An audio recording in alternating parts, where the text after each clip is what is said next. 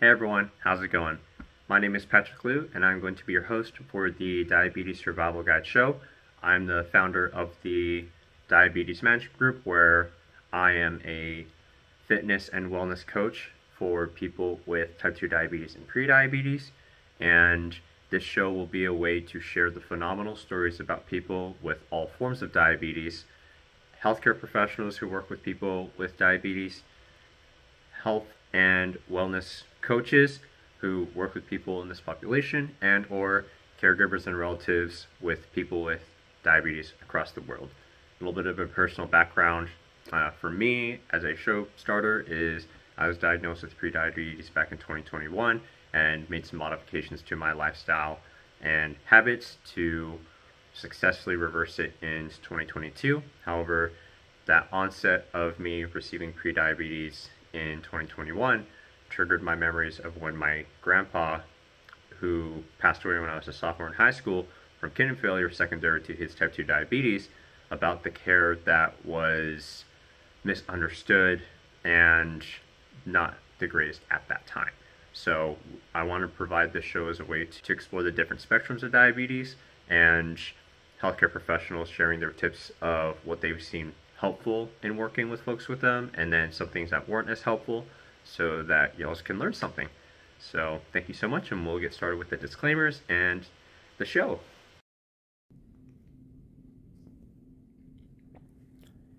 Disclaimers. This show is not medical advice or a treatment plan and may contain sensitive and explicit content. It is intended for general education and demonstration purposes only. This content should not be used to self diagnose or self treat any health, medical, or physical conditions. Don't use this show to avoid going to your own healthcare professional or to replace the advice they give you. Consult with your healthcare provider before attempting anything you learned in this show. You agreed to identify and hold harmless the creators of this material for any and all losses, injury, or damages resulting from any and all claims that arise from your use or misuse of this show material. The creators and guests of this show make no representations about the accuracy or suitability of this content.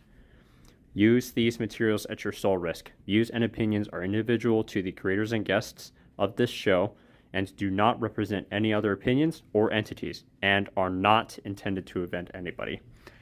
We hope you enjoy the show.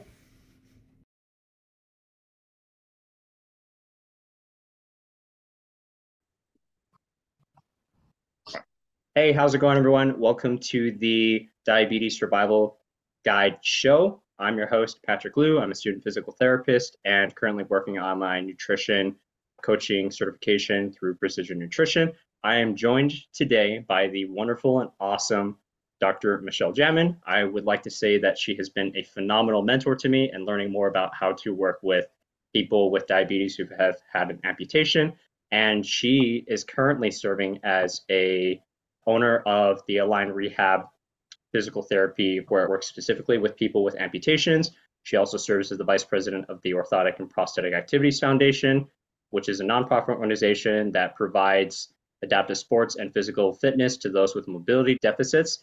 And she is a huge champion and ally to those in the disabilities community and constantly advocates for them in legislative issues to make sure that we bring the American Disabilities Act standards to everyone in the community. And I always get chills seeing what she posts on her Instagram page and everywhere else. So definitely check her out afterwards, and I'll put some descriptions below. And with that being said, let's start things off. Michelle, feel free to share a little bit about yourself and how you got started working with people who have diabetes and has had an amputation and anything that I missed from your awesome bio.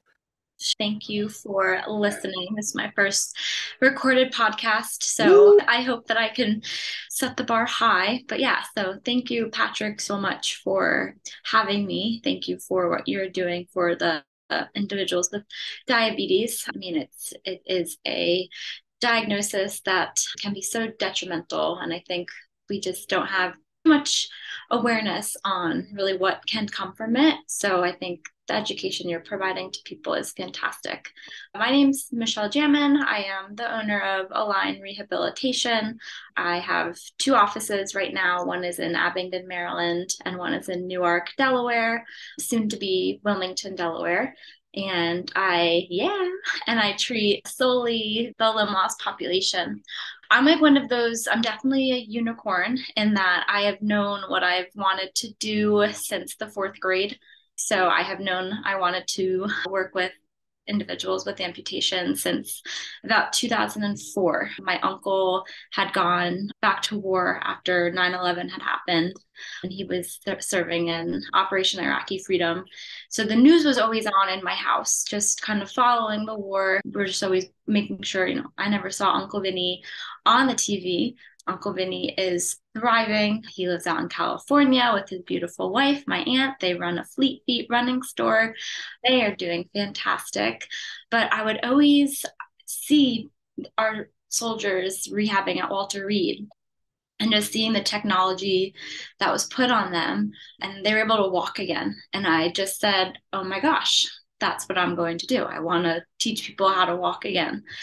So I really focused all of my training, any type of volunteer work in undergrad, University of Maryland. I was able to observe at Walter Reed and I did a lot of hands-on stuff through nonprofits and, and shadowing with prosthetists in grad school and found out that it's not all war vets that have amputations. And I get this question all the time now that's, oh, Michelle, like, oh my gosh, you must work with all of our vets. I'm like, oh, yes, I work with a lot of our veterans, but not our trauma veterans. I work with veterans who have had an amputation, likely due to diabetes and complications with vascular disease. It's about 54% of patients with amputations come from vascular disease. About two thirds of those like 54% have diabetes as a comorbidity. So, yeah, I kind of rerouted my focus of, oh, I'm going to be a, an army PT to, no, I'm going to be an amputee PT and work with the general civilian community who is at really high risk. And then, yeah, one thing, my, my path's been like boom, kind of like a what's that old the ping pong machine. Yeah, and, pinball. And here I am. here I am now. Align rehab. My celebration of my first patient will be May fifth. What? Um, no way! That's so cool. yeah. Yeah, looking forward to celebrating that one year mark, and yeah, just that's where I'm at. Awesome. Thank you so much for sharing, especially with the journey that you've had from a personal story with your uncle who's now living in sunny California and my aunts are actually currently living there right now, and my mom's actually from Orange County area, so we have some sort of. They're at Laguna Niguel. Is oh, their really? So tell her to go buy sneakers. Sounds good. and then other cool things too is that you took that passion of like, hey, going from an army PT to really specializing and working with folks with amputations, and also giving us some knowledge that like about half the people who have like type 2 diabetes can develop into getting an amputation, which is pretty serious because now that we know that severity, we definitely like to know more about like what has been your best success story with someone who's had an amputation and with type 2 diabetes. So I would say it's difficult to be like, oh my gosh, we dropped their A1C from eight and a half to seven. As mm-hmm. in an outpatient world, unfortunately, like we don't get those four or six months of treatment to be able to truly track A1C. But I think being able to educate patients, give a five minute spiel on managing diabetes through diet, exercise, just making healthy choices and then being able to recite that back to you and actually demonstrate they're they're doing it and implementing the change i think that's probably the most success that i could get at this moment. Because when they come to you and they've had their amputation associated with the diabetes a lot of times i find they don't really understand how their diabetes got them to this point. It's more of, well, I had this cut on my foot and then suddenly it was black. Mm-hmm. So kind of educating, you know, what happened through diabetes that led to you having, you know, neuropathy in the foot. So now you can't feel anything in that foot and you don't know that you stepped on a little pebble or that you wore those new sneakers and you got this little friction burn and being able to educate them on really what happened and preventing that happening from um, the other limb. So, yeah, I would say just being able to educate and have patients truly recognize the importance of managing their diabetes, not only through insulin, but making actual changes to their lifestyle has been most impactful, I'd say. Yeah, awesome. Thank you so much for sharing, especially taking it as an approach of every factor goes into it, and especially connecting the dots where, oh, I didn't know that my tingling sensation in my foot could have been correlated with my prediabetes or type 2 diabetes, and then it could severely get worse. So, of course, check your feet, everyone. If you have that opportunity, everything, take off those socks, check those feet just to make sure that you don't have any of those small cuts, which then turns black, as Michelle talked about. Like that's the last thing we want. So prevention is the best way to go about it. Hey everyone, thank you so much for tuning in to this podcast. And before we continue with the rest of this show, I wanted to let y'all know please feel free to give this podcast a five star rating if you like it, share it with other folks that you think it'd be beneficial for and if you haven't already, feel free to subscribe and follow to the Diabetes Management Group for awesome tips to manage your type 2 diabetes or prediabetes. And let's get back to the show. Since you are a physical therapist and you are a huge proponent of getting out there and doing physical activity, so if someone were to like come in and they've never found exercise interesting at all, what are some things that you would recommend they start doing if they had a recent amputation, was sedentary beforehand, but now they're like, I don't know what to do from here on out. And how would you go about that education process and inspiring them to take control of their life again? I will typically ask, what did you like to do prior to your amputation?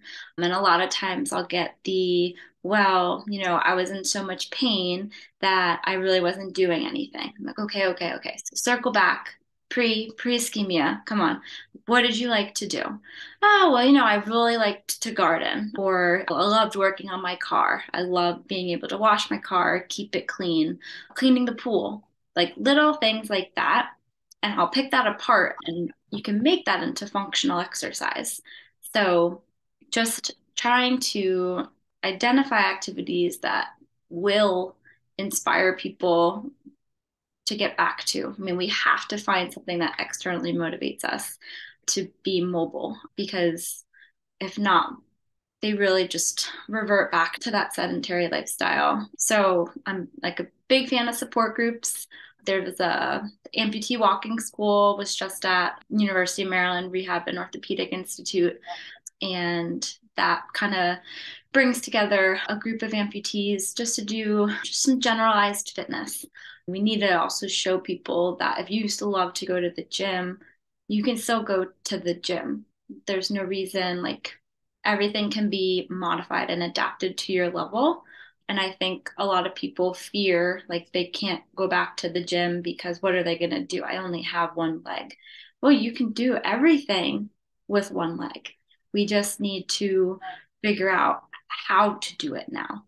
And really, as far as like just gentle beginning exercises, sit to stands. I love sit to stands. Sit in your La-Z-Boy and sit and stand for 30 seconds. Count how many sit to stands you did in that 30 seconds, and you're going to beat that next week. You're going to put five more. I love sit to stands. I make all caregivers do the sit to stand challenge with me. And then, yeah, if anyone has like exercise equipment in the home. I'll help kind of create a home exercise program for them there. If people are unable to ambulate, they don't have their prosthesis yet. I'm big into having my patients go to a strip mall before like opening hours or go to the high school track and just push the wheelchair, just get some cardio in. I mean, you could do some foot propulsion, right? Get your leg working. So yeah, those are my initial go-tos Oh, thanks for sharing that too. And I think the thing that really resonates as well, especially for folks who may not enjoy physical activity, but they really love gardening, learning how we can modify an activity so that they can get back into gardening again, or whenever it's going to the gym and they're fearful, I can't go to the gym now, but then changing that mindset of no, you can go back to the gym. We just got to figure out how we can return back to it in a safe way learning how to do it appropriately so that you could do what you love, have those gains. If you put on five plates for doing a bench press, go for that five plates of a bench press, which would be super impressive for somebody.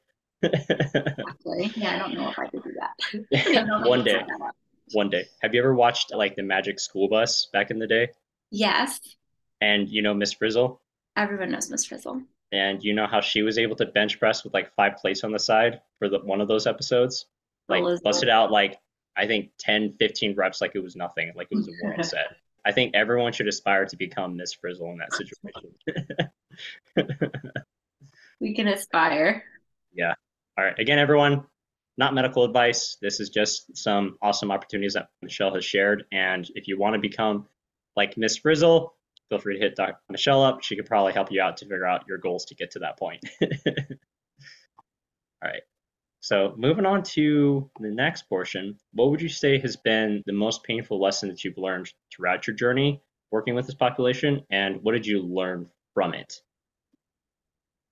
I wouldn't necessarily call like a bad outcome the worst thing that's happened, but not being able to get someone to the level that they expect themselves to. You know, we get into this profession like we want to help people, we want to make people better, we want to make people better than they were before surgery. You know, sometimes that's just not the reality, right? If we have to look at a person as a whole, and for my patients that have had amputations, you know, there's so many comorbidities that go along with that, like COPD, you know, congestive heart failure, other vascular deficiencies that for five years they've been immobile, sitting in their chair, haven't been able to walk. So to tell them, yeah, like you're going to get up and you're not going to need a assisted device one day. You know, that's just setting false expectations. So I think when I started, you know, I was more of a very like, oh yeah, we'll definitely like we can get you there. We can get you there.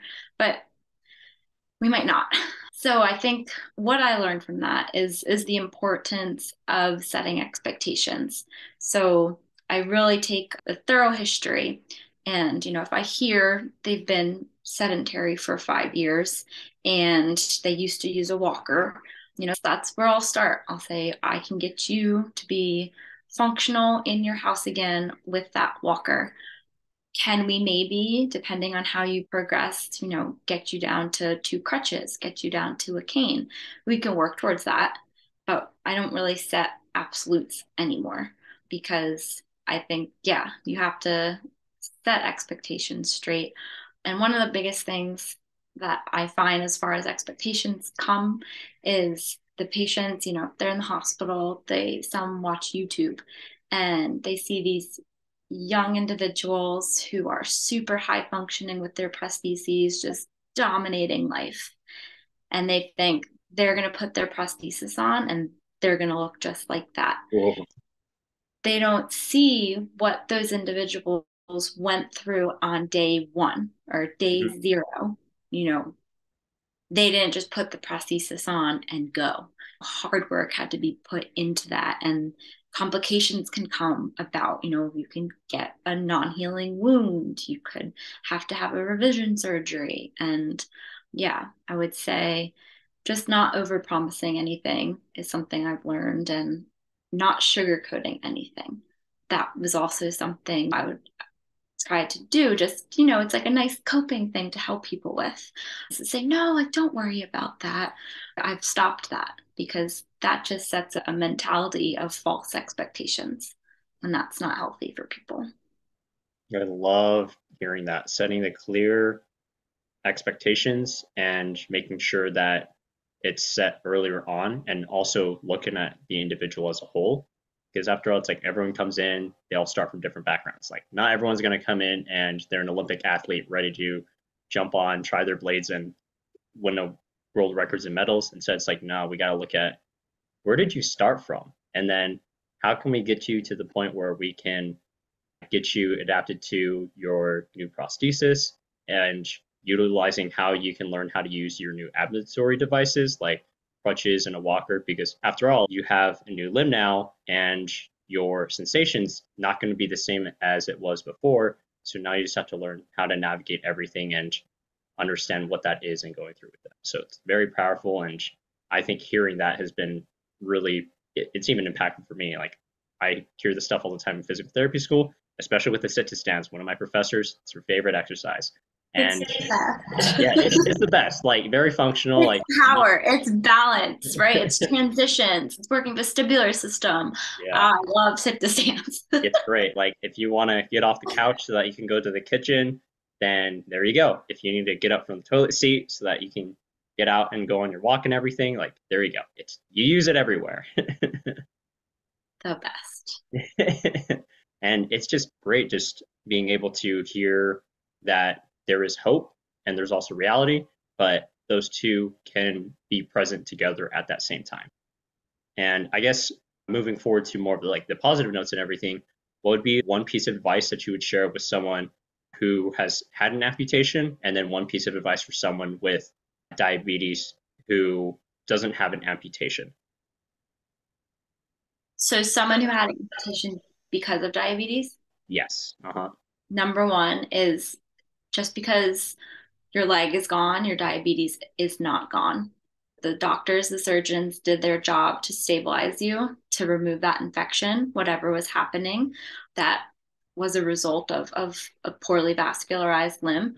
But the rest of your body, it you still have it. So what we need to do is prevent a second amputation on your side, on the side that was amputated. So we're below knee we don't want to become an above knee amputation or an above knee amputee individual with an above knee amputation. But we really need to also protect your anatomical leg. So that's going to be your skin checks, your exercise, your diet, using like following your insulin. And that's always, yeah, I mean, that that has to be preached. I think I'm blanking on the statistic, but I think it's like I think within two to five years, an individual will have their second amputation if it if they started as a vascular amputation. So that's pretty alarming statistic for sure. And then for someone who has diabetes but has not had an amputation, you said it earlier, is the foot exam. Check your feet every day, a couple times a day. If you get new shoes, check them even more no lotion in between the toes. That's oddly one thing I say all the time. And one time a patient came in and he was like, Michelle, I put lotion on my feet today because he's caring for his feet. They were very calloused. And he looks at me and he's like, no lotion between the toes. and that was a victory. I'm like, yeah. because he had came in one day and his feet were just saturated saturated and the lotion it sits right in between the toes. I'm like no this is just asking for a little like skin maceration and a wound. Um, so yeah i really preach the foot exams because it's preventable and that's the wildest thing is the majority of amputations can be prevented. We just need to educate people on how can we prevent them. Oh i love it. Check your feet and make sure that you understand that just because the limb has been amputated off, that all the other things, like it's still there. We just have to make sure that we are diligent with it, but also understanding that we can still make those changes now because we're living today. The choices that we make today and tomorrow, and then the next day, just keep on doing those small little changes and live the best life that we can. Yeah. Yeah. And then we got last question and then another like follow-up question. So this is the fun question that I like to ask everyone who comes on here. So what is your zombie apocalypse survival plan? Okay, so you asked me this. I thought so hard on this. I even put it into chat GPT. Oh, a little insight. I would probably go first. I would easily be bitten first. What? I, I don't think I would survive. um, my survival skills are far and few. I do have my yellow belt, so maybe I could use that to my advantage. But I I would Hopefully, I would be the one that would sneak off and find the antidote. And I'm blanking on the girl's name that had the antidote, but I would hope maybe that would be me. And then I would go and cure everyone since that's how I live my life is I just want to help everyone. so yeah, if I couldn't create the antidote, couldn't use my yellow belt in action, I would have the cool house of all the supplies, but that would Yeah. only last me so long. Yeah. And then I'm a goner. Oh my goodness. okay, I could respect that answer, especially it's like, all right, you know, you did your best to support everyone, find the cure, and going from there. If not, like, I guess what did you have your yellow belt in? Taekwondo. Oh, okay. All right. All right. I mean, that's it was an elective at University of Maryland. So to to pass, you went from white to yellow. So yay. All right. It has been a pleasure having you on our show, Michelle. So we appreciate your time and sharing your wisdoms of pearls with us. How can people find you? Social media. So will you, I guess I don't even know what my I'll put that stuff down in the description, y'all. Yeah, I would say social media, my website, align pt align rehab pt.com. I'm I'm very open. If there's any person out there that does have an amputation, you don't happen to live by me, that does not matter. My my mission is to help educate and provide any resource that I can share. So yeah, emailing me, slide into my DMs. Um, yeah. and yeah, really, I just, I'm here to help. So no matter where you are. Michelle's really quick in answering in the DMs too, I will say. I posted like saying, Hey, I love your stuff. And she's like, I love your stuff too. I'm like, Oh my goodness, I, I feel so amazing. And then when I, I asked her, it's like, Hey, I'm always hashtag working. This is Yep. what I'm, I'm working. it's like you're also the marketing team in addition to being the owner of Align Rehab. Yeah, many hats. All right. Thank you all again for Thank you Oh, for yeah. having me. no problem. Thank you again for joining us, Michelle, and we'll see y'all's in the next episode. Can't wait.